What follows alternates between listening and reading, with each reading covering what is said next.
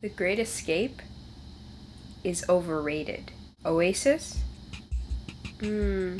So, you know that one Pulp song? Wow, you have that one Blur album? You're a real Britpop fan. Who cares about Ocean Colour Scene? I don't think I would touch Kula Shaker with a 10 foot pole. If I did, I'd probably burn it. Does anyone actually care about Bernard Butler's solo career besides Suede? The La's are to cast what a big chocolate cake is to a moldy biscuit. Damon didn't write Elastica's debut album, Wire did, and Elastica is still better than Echobelly and Sleeper. I think Liam Gallagher is the last person on earth who actually doesn't know that no one cares about Oasis anymore. Did Pulp only have two albums? I feel like they only had like two albums.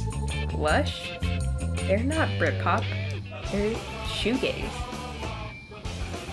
Jesus Jones? mm-hmm. Okay. Oasis is awful. Menswear? Stop. Stop right now. No. Don't even mention menswear to me. Don't do it. Britpop is still alive in my heart. Nah, I'm joking. Britpop is awful.